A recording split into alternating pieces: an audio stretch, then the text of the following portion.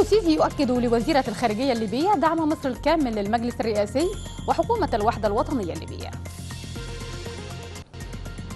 اختتام فعاليات المناورة رعد خمسة التي تنفذها إحدى وحدات المنطقة الشمالية العسكرية.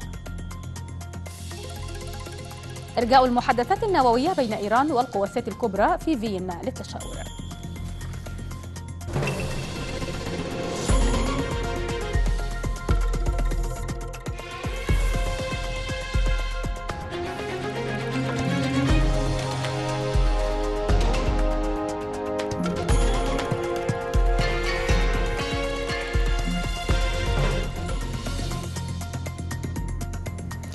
أهلا بكم إلى ساعة إخبارية جديدة تأتيكم من شاشة النيل يترجمها لحضراتكم الزميل علاء الدين السيد شدد الرئيس عبد الفتاح السيسي خلال استقباله وزيرة الخارجية الليبية نجلاء المنقوش على دعم مصر الكامل للمجلس الرئاسي وحكومة الوحدة الوطنية الليبية.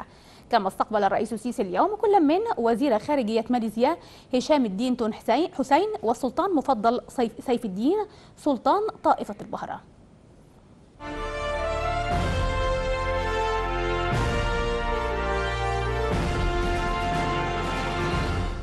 استقبل السيد الرئيس عبد الفتاح السيسي السيدة نجلاء المنقوش وزيرة الخارجية الليبية. وذلك بحضور السيد سامح شكري وزير الخارجية والسيد عباس كامل رئيس المخابرات العامة. صرح المتحدث الرسمي باسم رئاسة الجمهورية بأن السيد الرئيس رحب بالوزيرة الليبية في مصر مؤكدا سيادته دعم مصر الكامل للمجلس الرئاسي وحكومة الوحدة الوطنية الليبية في مهامها خلال المرحلة الانتقالية. بهدف استعادة ليبيا لأمنها واستقرارها. معالي الوزيرة اسمحي لي أن أنا أرحب بيكي وأوجه لك كل التحية والتقدير والاحترام لشخصك اولا على مواقفك الوطنية تجاه بلدك.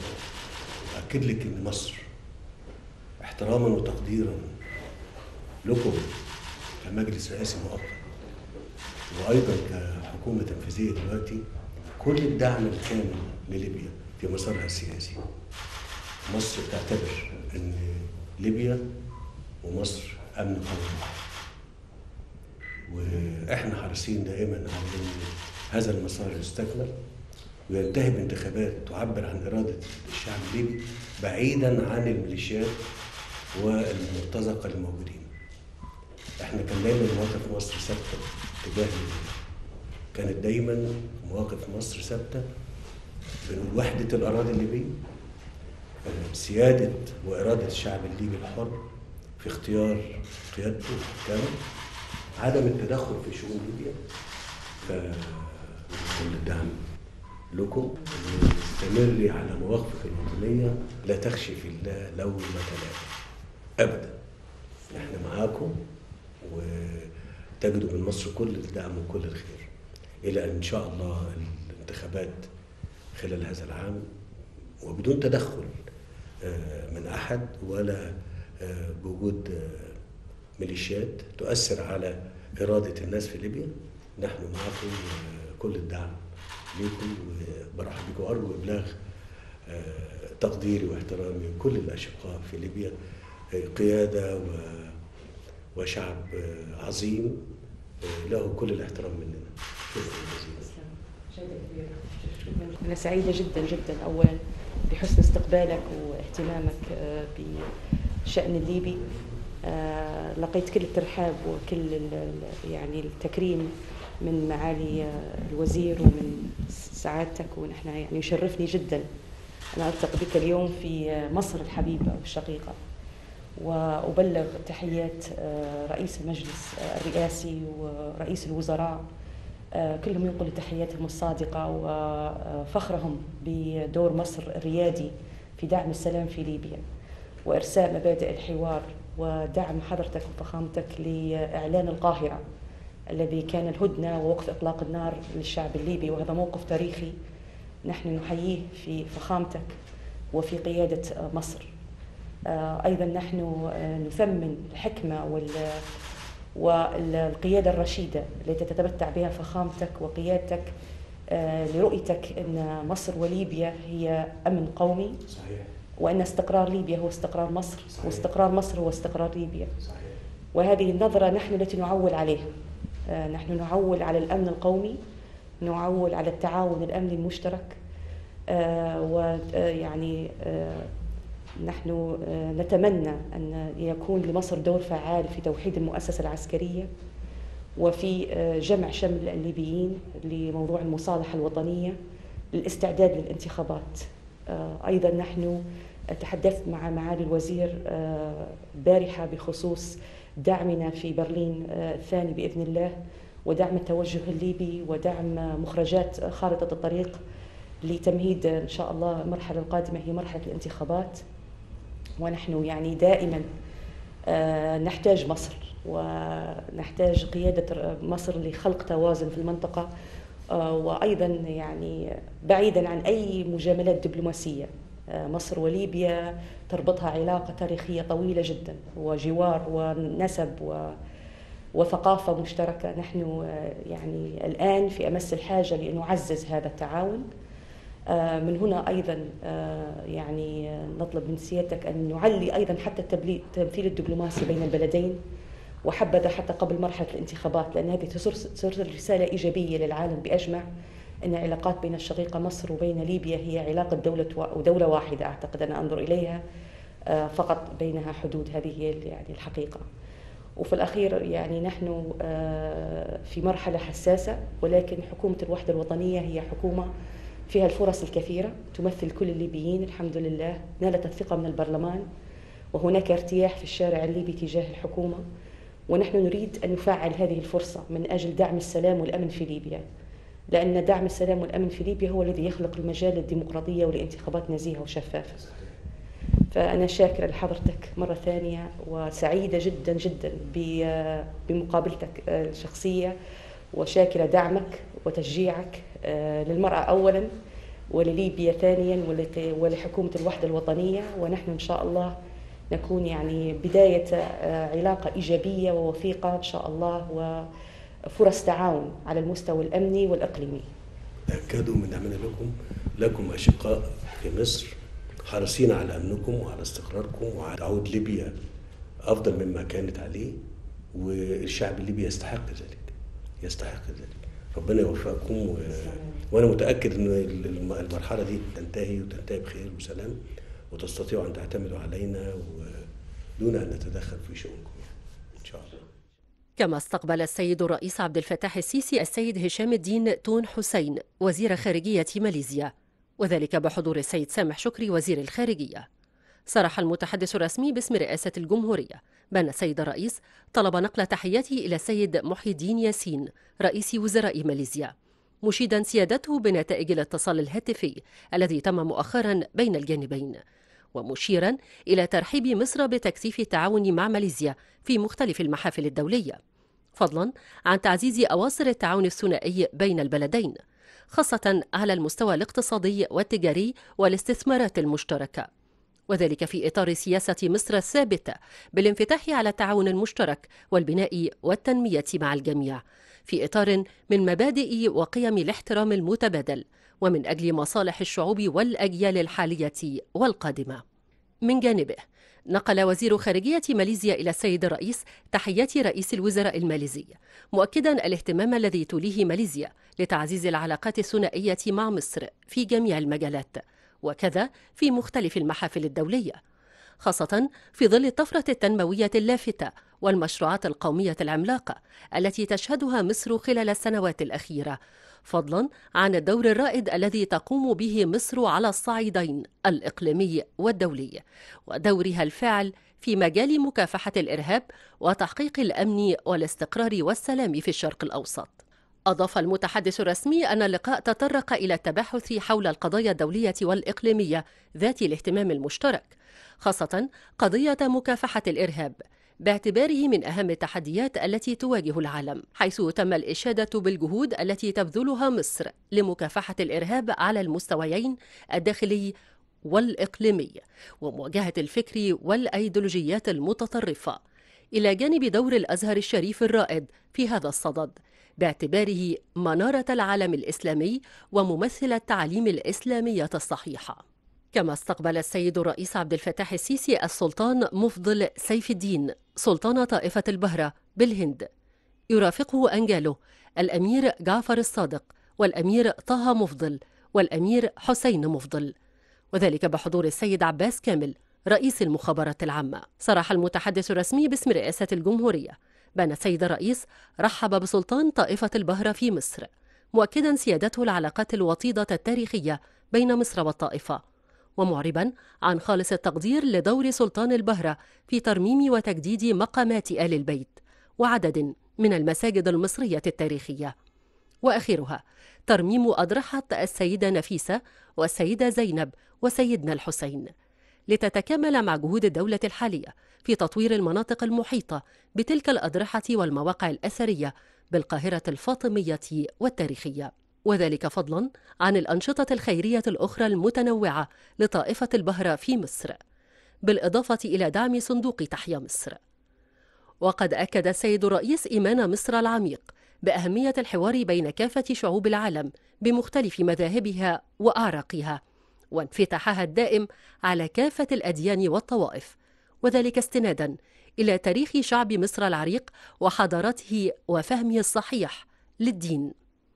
مستعرضا سيادته في هذا الإطار جهود الحكومة المصرية لتعزيز مبادئ المواطنة على أساس المساواة والتعايش السلمي وحرية الاختيار والاعتقاد من جانبه. أعرب سلطان البهرة عن تشرفه بلقاء السيد الرئيس. مثمنا المسار الحالي الذي تتمتع به مصر بقيادة السيد الرئيس من حرية ممارسة الشعائر الدينية والتعايش السلمي بين كافة الأطياف والمذاهب والتي تكفل للجميع مناخا مستقرا للسلام الاجتماعي. كما أشاد سلطان البهرة بالإنجازات التنموية التي تحققت مؤخرا في مصر على الصعيد الداخلي في مختلف المجالات بالإضافة إلى الدور المصري الفاعل على الساحة الإقليمية والذي تجسد مؤخرا في التوصل لاتفاق وقف إطلاق النار بين الجانبين الفلسطيني والإسرائيلي. وكذا المبادرة المصرية لإعادة آمار غزة إلى جانب جهودها المتواصلة في دعم جهود التوصل لتسوية سياسية للأزمة الليبية.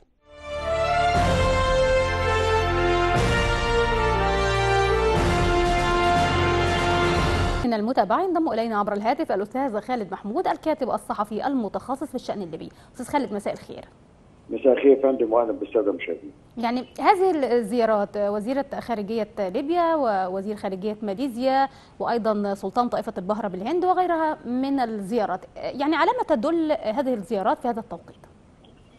ما فيش شك انها إنها مؤشر ودليل على إنه القاهرة أصبحت قبلة للسياسة الإقليمية والدولية وإنه الدور اللي مصر بتلعبه في مختلف الملفات الإقليمية وما يهم منها الأطراف الدولية بات محوريا لا يمكن الاستغناء عنه وهذا التوافد المستمر من أطراف إقليمية ودولية على قصر الرئاسة ووزارة الخارجية في القاهرة دليل قاطع على نجاح السياسة الدبلوماسية اللي بتقودها مصر في مختلف الاتجاهات.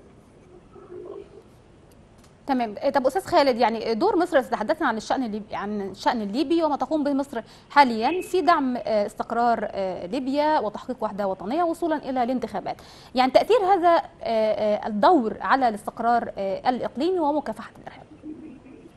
بتصور إن الكلام المهم اللي قاله سياده الرئيس خلال لقائه مع السيدة نجلاء المنهوش وزيرة الخارجية الليبية. كلام مهم لأنها واحدة من يعني الأصوات أو يعني ممكن نقول عليها الصوت الوطني الوحيد الواضح والمعلن في ترويكا السلطة الانتقالية في ليبيا اللي على طول الخط عنده موقف وطني واضح تجاه ضرورة خروج كل المرتزقة من الأراضي الليبية. وبتتعرض هي طبعا لحملة شعواء من أنصار تركيا وقطر وجماعة الإخوان المسلمين. وكانت هناك محاولات حتى لإقالتها وحث دبيبه رئيس حكومة الوحدة على الاطاحه بها. لكن آه ثبتت آه وصمدت آه السيدة المنقوش في مواقفها ولم تتغير ولم تتلون. ومن هنا يمكن تفهم الحديث المهم الذي جرى بينها وبين السيد الرئيس اليوم وتأكيد الرئيس على أنها ستجد من مصر كل دعم ولافت الانتباه إنه رئيس يعني قال لها بمعنى واضح وصريح إنه عليها أن تمضي قدما في مواقفها الوطنية والا تخشى في الله لومة لائم ده كلام ما يقولوش آه، حد إلا إذا كان واعي ومستوعب تماما كل مدركات الأزمة الليبية ويعي تماما أهمية الدور اللي بتلعبه السيدة المنقوش في السياسة الخارجية الليبية في الوقت الحالي. طيب يمكن كما ذكرت أيضا وزيره الخارجية الليبية أنه سيكون هناك أيضا أو العلاقات ستكون أكثر دعما في المجال التجاري والاقتصادي وغيره. يعني كيف ستفتح هذه العلاقة أفاق جديدة للتعاون التجاري والاقتصادي ما بين مصر وليبيا؟ طبعا وجود ليبيا آمنة ومستقرة ده بينعكس على مصر من كافة النواحي الأمنية والسياسية والاقتصادية. والهم الأول لنا هنا في مصر هو إنه ليبيا يعني تنجح في مسيرتها نحو استعادة مؤسساتها ويعود الاستقرار إليها. وهذا لن يتاتى إلا بإجراء انتخابات. وطبعا ده بعد خروج كل المرتزقة وتفكيك كافة الميليشيات. ومن ثم إتاحة الفرصة للشعب الليبي لاختيار رئيسه وحكومته المقبلة بكل إرادته الحرة. كل تطور إيجابي في ليبيا بينعكس ايجابيا وبشكل تلقائي على مصر.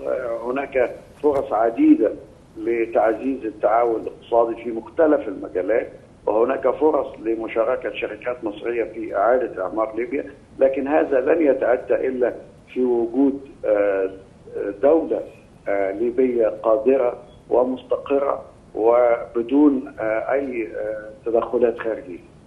بشكرك الأستاذ خالد محمود الكاتب الصحفي المتخصص في الشأن الليبي، شكرا على هذه المداخلة. أكد وزير الخارجية سامح شكري ونظيره الماليزي هشام الدين حسين عمق علاقات التعاون التي تربط بين البلدين جاء ذلك خلال المؤتمر الصحفي المشترك الذي عقده الوزيران في ختام مباحثاتهما والتي عقدت بقصر التحرير زيارة هي الأولى من نوعها لوزير الخارجية الماليزي هشام الدين حسين منذ توليه مهام منصبه. لتبدأ الزيارة بجلسة مباحثات بين وزير الخارجية سامح شكري ونظيره الماليزي لتبادل الرؤى حول الموضوعات والقضايا ذات الاهتمام المشترك. تأتي زيارة معالي الوزير الآن إلى القاهرة لتؤكد وجود إرادة سياسية قوية لدى الجانبين لاستئناف قوة ومتانة العلاقات الوثيقة التي تربط بين مصر وماليزيا والرباط القوي الذي تأسست عليه هذه العلاقة في إطار الصداقة التي تجمع بين الشعبين المصري والماليزي. وفي مؤتمر صحفي للوزيرين تم التطرق إلى سبل تطوير علاقات التعاون الثنائي بين البلدين على صعيد القطاع الصناعي والتجاري وكذلك الاستثماري كما أشاد وزير الخارجية الماليزي بالمشروعات القومية التي يتم تنفيذها ورغبة ماليزيا للمشاركة في أعمال التنمية والتعاون في المجالات المختلفة. ماليزيا تجد رغبة في المشاركة في هذه المشروعات الكبرى حيث أن مصر هي بوابة إفريقيا. وكذلك لتعامل مصر مع مجموعة الأسيان والتي يصل تعداد سكانها لعدد يفوق ال 600 مليون. وهذا وضع مفيد للجانبين. كما تناول الجانبان الجهود المبذولة لحلحلة القضية الفلسطينية ودفع عجلة المفاوضات لإقامة الدولة الفلسطينية وفقا لمقررات الشرعية الدولية وكذلك دور مصر الرائد في إعادة إعمار غزة. عندما يتعلق الأمر بالقضية الفلسطينية لنا رؤية متطابقة ونعمل من خلال المؤتمر الإسلامي وبقية المنظمات الدولية على الدفع قدما للحقوق المشروعة للشعب الفلسطيني دعم رؤية الدولتين. على حدود 67 وعاصمتها القدس الشرقية وديل للشعب الفلسطيني الشقيق حقوقه كاملة. ما ذكره معالي الوزير أن العلاقات الثنائية بين مصر وماليزيا دائما ما توافقنا في أي منصة أو محفل دولي. خاصة في الأعوام الأخيرة. أما فيما تصل بمنظمة التعاون الإسلامي فإن أهم قضية هي القضية الفلسطينية. هذا ويسعى كلا البلدين لإنشاء حقبة جديدة من التعاون بما يلبي تطلعات شعبي البلدين. في ظل وجود آفاق رحبة للتعاون مع ماليزيا تأتي زيارة وزير الخارجية الماليزي لمصر لبحث سبل تعزيز التعاون المشترك بين البلدين وتناول العديد من القضايا ذات الاهتمام المشترك على الصعيدين الإقليمي والدولي والعمل على تحقيق التكامل والتبادل بين البلدين في شتى المجالات. من قصر التحرير أحمد سعد الدين النيل. اختتمت فعاليات المناورة رعد خمسة التي تنفذها إحدى وحدات المنطقة الشمالية العسكرية بالتعاون مع الأفرع الرئيسية للقوات المسلحة والتي استمرت لعدة أيام وذلك في إطار الخطة السنوية للتدريب القتالي لتشكيلات ووحدات القوات المسلحة المصرية. تضمنت المرحلة الختامية قيام المفارز الميكانيكية والمدرعة بسد وتدمير عناصر الإبرار البري البحري والجوي المعادي التي تم إنزالها بحرا وإبرارها جوا لاحتلال خط حيوي من محاذاة ساحل وذلك بمشاركة القوات البحرية التي قامت بالتصدي للقطع البحرية المعادية القائمة بالإبرار وتدميرها بالتعاون مع القوات الجوية ووسائل وأسلحة الدفاع الجوي والمدفعية وعناصر المهندسين العسكريين وإبرار عناصر القوات الخاصة لسرعة احتلال رأس الشاطئ وتأمينه ضد الهجوم المعادي. نفى المركز الإعلامي لمجلس الوزراء أنباء تداولتها مواقع الاتصال الاجتماعي بشأن تغيير قواعد التنسيق ونظام القبول بالجامعات. وقام المركز بالتواصل مع وزارة التعليم العالي والبحث العلمي والتي نفت تلك الأنباء مؤكدة أنه لم يتم إصدار أي قرارات بهذا الشأن. موضحة أن قواعد التنسيق مستمرة وسيتم تطبيقها كما هي وفقا لما هو متبع خلال السنوات السابقة على أن يكون التنسيق إلكترونيا من خلال الموقع الرسمي للتنسيق. تواصل وزارة الداخلية جهودها الرامية إلى مواجهة كافة أشكال الخروج على القانون ومكافحة جرائم الاتجار وترويج المواد المخدرة وتنفيذ الأحكام القضائية ومواجهة الأنشطة غير المشروعة التي تؤثر على الاقتصاد القومي للبلاد.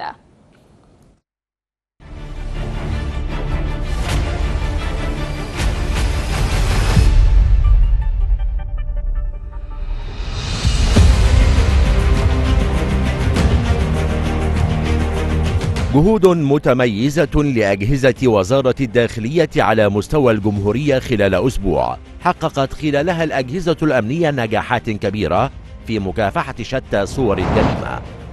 فمن خلال استهداف وضبط العناصر الإجرامية شديدة الخطورة أسفرت جهود الأجهزة الأمنية عن ضبط 458 عنصرا إجراميا شديد الخطورة بنطاق 18 مديرية أمن. والسابق اتهامهم في العديد من القضايا أبرزها. شروع في قتل سلاح مخدرات وسرقة. وضبط معهم 323 قطعة سلاح ناري وكميات كبيرة من الطلقات مختلفة الأعيرة والمواد المخدرة.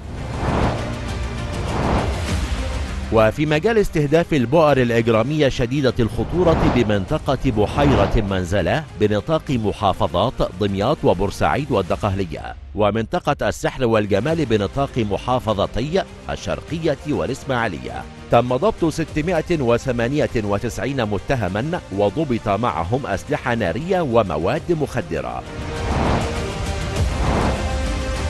وفي مجال ضبط الأسلحة النارية والبيضاء غير المرخصة ضبطت أجهزة وزارة الداخلية خلال أسبوع 1258 قطعة سلاح ناري أبرزها. ثلاثة جرينوف ومائة وثمان وثمانون بندقية ومائة وثمانية وعشرون بندقية آلية وستون مسدسا وثمانمائة وسبعة وسبعون فرد محل الصنع. وطلقات نارية مختلفة الأعيرة وعدد 145 خزينة. إضافة ل 1511 قطعة سلاح أبيض. كما تم ضبط ورشتان لتصنيع الأسلحة النارية وبداخلها أسلحة نارية وأدوات وأجزاء التصنيع. وترسيخا لمبدأ سيادة القانون. نجحت أجهزة وزارة الداخلية في مجال تنفيذ الأحكام في تنفيذ 553752 حكما قضائيا بإجمالي 44076 متهما من بينها 2351 حكم جناية و196261 حكم حبس و279219 حكم غرامة و75921 حكم مخالفة. وفي مجال ضبط التشكيلات العصابية والقضايا المتنوعة نجحت أجهزة الوزارة خلال أسبوع في ضبط أربعة تشكيلات عصابية ضمت أحد عشر متهما. قاموا بارتكاب تسعة حوادث سرقة متنوعة وتم كشف غموض 79 حادث ما بين قتل عمد وسرقة بالإكراه وحريق عمد وانتحال صفة وضبط مرتكبوها بإجمالي 106 متهم.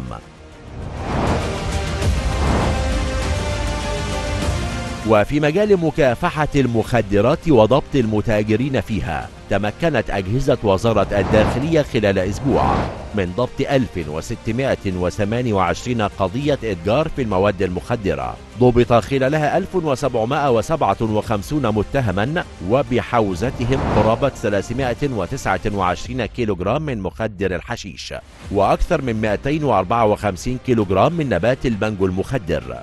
وكمية من مخدر الهيروين وزنت ما يقرب من 30 كيلوغرام. إضافة إلى حوالي 20 ونصف كيلوغرام من مخدر الاستروكس وعدد 48141 قرص مخدر. أشرف رئيس حكومة الوحدة الليبية عبد الحميد الدبيبة اليوم على إعادة فتح الطريق الساحلي الحيوي الرابط بين شرق البلاد وغربها بعد إغلاق استمر لنحو عامين. وتولى رئيس الحكومة نفسه قيادة جرافة لإزالة ثلاثة سواتر ترابية على الجانب الغربي من الطريق. كان الطريق الساحلي بين مدينتي مصراتة وسرت أكبر مدينتين ساحليتين وسط البلاد. قد أغلق إبان الحرب التي نشبت بين الشرق والغرب في أبريل 2019 والتي انتهت بإعلان وقف إطلاق النار في أغسطس 2020 أعلن مبعوث الاتحاد الأوروبي للمفاوضات النووية الإيرانية أنريكي مورا إرجاء إيران والقوى العالمية للمحادثات النووية للتشاور في عواصمهما. وأضاف أن المحادثات أحرزت تقدما وأن المفاوضين أقرب لإحياء الاتفاق النووي في أي وقت مضى.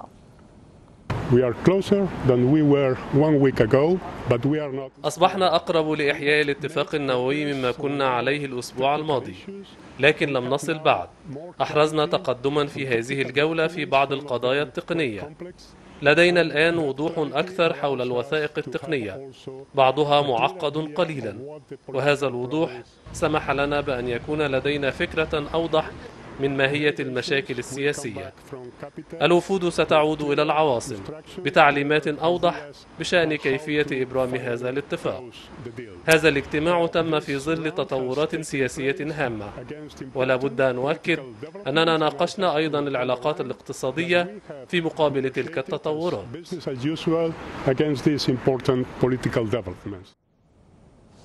يأتي هذا في الوقت الذي أثار فيه إعلان فوز رجل الدين المحافظ إبراهيم رئيسي في الانتخابات الرئاسية الإيرانية ردود فعل متباينة.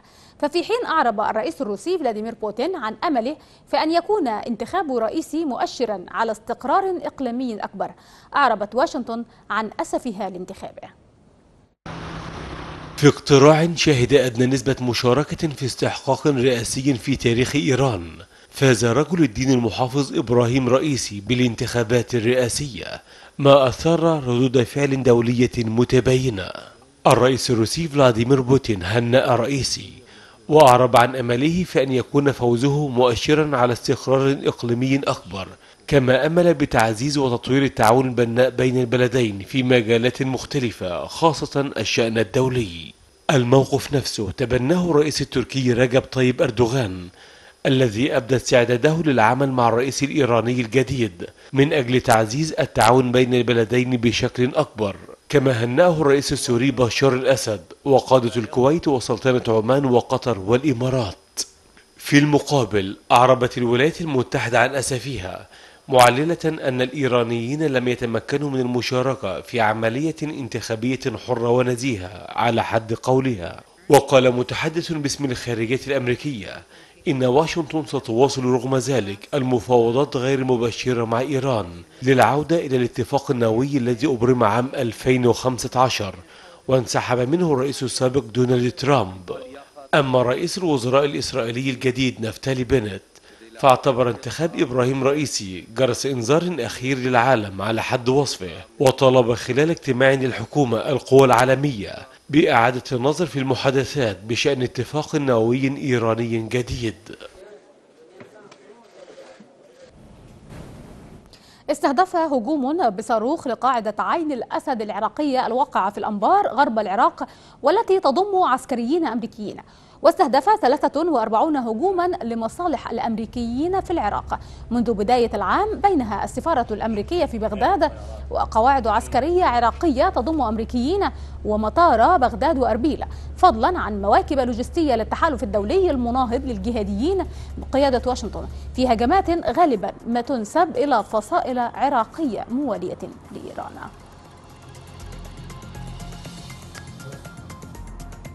متواصلون مع حضراتكم ومعنا أيضا.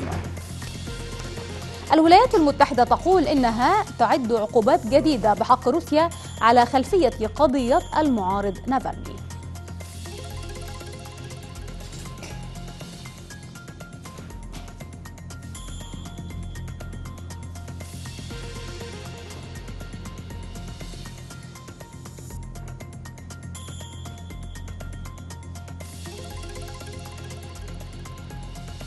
والآن أخبار الاقتصاد مع الزميل محمد سليمان. تفضل. شكرا لك سحر مرحبا بكم. أخبار اقتصادية في بانوراما الثامنة وتتابعون فيها. الحكومة تبدأ إجراءات تقنين أوضاع مركبات التوك توك وضمه للمبادرة الرئاسية لإحلال المركبات.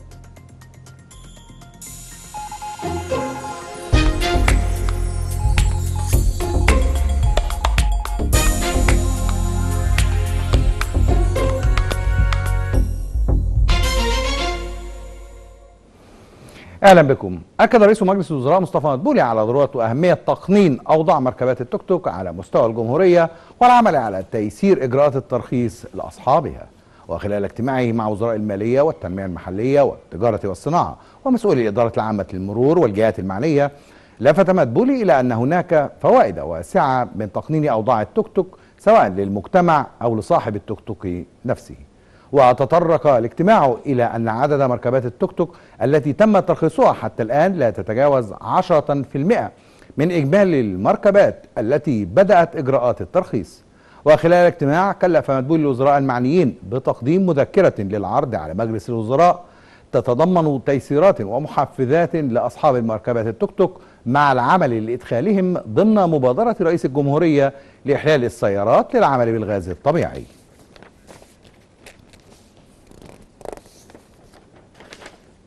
اجتمع رئيس الوزراء مصطفى مدبولي مع محمود شعراوي وزير التنمية المحلية ومحافظ الدقهلية أيمن مختار لمتابعة عدد من مشروعات المحافظة.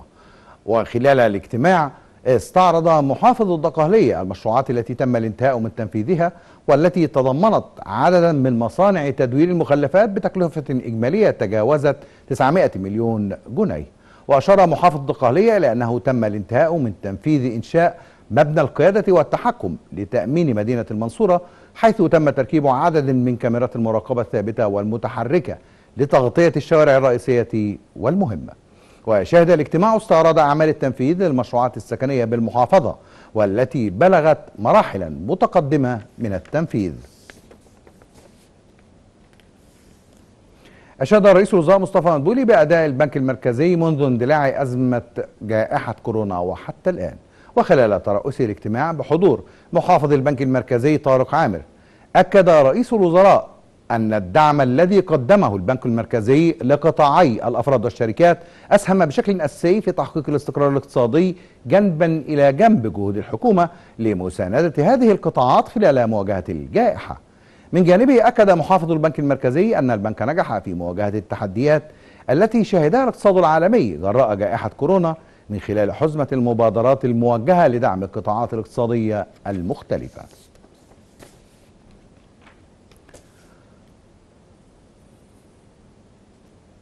عقد وزير السياحة السياحة والآثار خالد العناني والاتصالات تكنولوجيا المعلومات عمرو طلعت اجتماعا لمتابعة الموقف التنفيذي لعدد من المشروعات التي يتم تنفيذها في إطار بروتوكول التعاون بين الوزارتين. وذلك بشأن تطوير البنية التكنولوجية لوزارة الآثار. وخلال الاجتماع أكد وزير الأثار والسياحة أن مشروع التحول الرقمي جاء انطلاقا من استراتيجية الوزارة لتحقيق أهداف التنمية المستدامة وبناء منظومة معلوماتية دقيقة في مجالات السياحة المصرية لبناء اقتصاد متنوع يعتمد بشكل كبير على إتاحة خدمات سياحية أكبر. من جانبه أوضح طلعت أن وزارة الاتصالات تسعى إلى مواكبة التكنولوجيات الرقمية العالمية لتعزيز قطاع السياحة وذلك من خلال التعاون بين الوزارتين في ضوء بناء مصر القي... مصر الجديدة. أكد وزير الاتصالات تكنولوجيا المعلومات عمرو طلعت أهمية التعاون الوثيق بين مصر وليبيا في ظل الروابط التاريخية والجغرافية والثقافية التي تجمع البلدين. وشدد طلعت خلال لقائه رئيس الشركة القابضة للاتصالات الليبي فيصل أحمد قرقاب شدد على أنه خلال زيارته إلى أن ليبيا منذ شهري النهضة والتي تشهدها البلاد في ظل إرادة الشعب والحكومة الليبية على تحقيق ذلك. مباحثات ثنائية مصرية ليبية مكثفة بهدف تعزيز التعاون بين البلدين في مجالات الاتصالات وتكنولوجيا المعلومات حيث عقد الجانبان اجتماعا موسعا لمناقشة عدد من المشروعات المهمة في مجالات تكنولوجيا المعلومات والاتصالات. تبادلنا الرؤى واتفقنا على التعاون في مجال الربط البيني وإتاحة خدمات الإنترنت لشعبينا من خلال الشبكة الموجودة في مصر والموجودة في ليبيا والتي تربط البلدين بالقارات المختلفة. أيضا اتفقنا على التعاون في مجال الخدمات البريدية وتبادل الخبرات في كيفية تطوير المؤسسات البريدية في البلدين والدور الذي تلعبه المؤسسة البريدية في الفترة القادمة. أيضا اتفقنا على تبادل الرؤى في مجال الحوكمة والمنظومة التشريعية التي تحوكم وتنظم قطاع الاتصالات وتكنولوجيا المعلومات كذلك تبادلنا الرؤى واتفقنا على التعاون في مجال رفع كفاءة البنية التحتية ونقل التجربة المصرية في هذا المجال إلى دولة ليبيا الشقيقة. أيضا تحدثنا عن التدريب ورفع الكفاءات والتنمية البشرية ورعاية الإبداع والعمل الابتكاري من خلال مشروعات مشتركة بين البلدين. من جانبه أكد رئيس الشركة القابضة للاتصالات الليبية على تشجيع الشراكات بين البلدين والاستفادة من التجربة المصرية في التحول الرقمي فضلا عن وضع آليات لتحفيز القطاع الخاص للاستثمار في مجال تكنولوجيا المعلومات. تفهمنا أيضا على وضع كما أسلف أخي معالي دكتور عمر لجنة عليا مشتركة بين الجانب المصري والجانب الليبي وقد إن شاء الله تتوج هذه اللجنة بإنشاء شركة مشتركة بين وزارة الاتصالات المصرية والشركة القابضة للاتصالات. هدف هذه الشركة هي قيادة مبادرة التحول الرقمي في البلدين والاستفادة من الخبرات والاستثمار المشترك في صناعة الاتصالات وتقنية المعلومات. سنشهد إن شاء الله هذا الأسبوع توقيع عقد مهم جدا بين شركة هاتف ليبيا وشركة الاتصالات المصرية. كما أيضا سنشهد إن شاء الله توقيع مذكرات تفاهم جديدة نستطيع من خلالها الانطلاق وتنفيذ هذه المشاريع. جهود حثيثة وسعي دائم من الحكومتين المصرية والليبية وبخاصة في مجالات تكنولوجيا المعلومات والاتصالات بتشكيل فرق عمل مشتركة بين البلدين لوضع خطة محددة بموضوعات وجدول زمني لتنفيذ عدد من مشروعات بين البلدين. انتهت أخبارنا الاقتصادية وعودة إلى الزميلة صحه الصبر لاستكمال بانوراما. تفضلي صحه شكرا محمد. أعلن مستشار الرئيس الأمريكي للأمن القومي جاك سليفان أن الولايات المتحدة تعد تعد عقوبات جديدة على موسكو على خلفية اتهامها بمحاولة تسميم المعارض الروسي أليكسي نافالني. تأتي تصريحات سليفان بعد أربعة أيام من قمة الرئيسين الأمريكي جو بايدن والروسي فلاديمير بوتين في جنيف. كان بايدن قد وجه تحذيرا في شأن نافالني قبيل القمة الروسية الأمريكية بأنه في حالة وفاته ستتدهور العلاقات الروسية مع واشنطن وباقي دول العالم.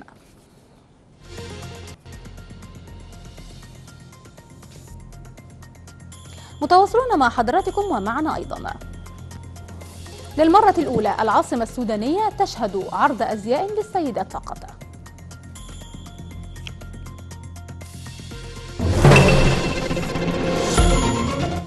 في سابقة هي الأولى من نوعها استضافت العاصمة السودانية الخرطوم عرض أزياء للسيدات فقط وذلك بعد سنوات من العزلة في هذا المجال. شارك في العرض عشرون مصمم ومصممة أزياء وعارضة وطغى على تصميماتها اللونان الأبيض والأسود. وكان مجلس الوزراء السوداني قد ألغى في عام 2019 قانون النظام العام الصادر عام 1996 والذي كان معنيا بتجريم السلوكيات الشخصية مثل ما يعرف بالزي الفاضح. وظل السودان خاضعا. لحكم البشير طوال ثلاثة عقود قبل الإطاحة به عام 2019 خضم ثورة شعبية عارمة ضد حكمه.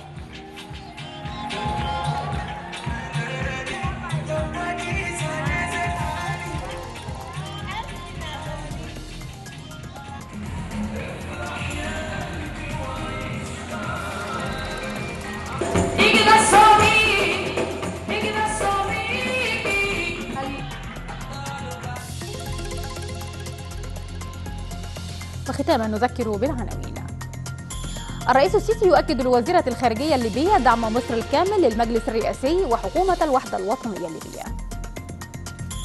اختتام فعاليات المناورة رعد خمسة التي تنفذها إحدى وحدات المنطقة الشمالية العسكرية. إلقاء المحادثات النووية بين إيران والقوى الست الكبرى في فيينا للتشاور نهاية هذه الساعة الإخبارية. على رأس الساعة موجز الأخبار. إلى اللقاء.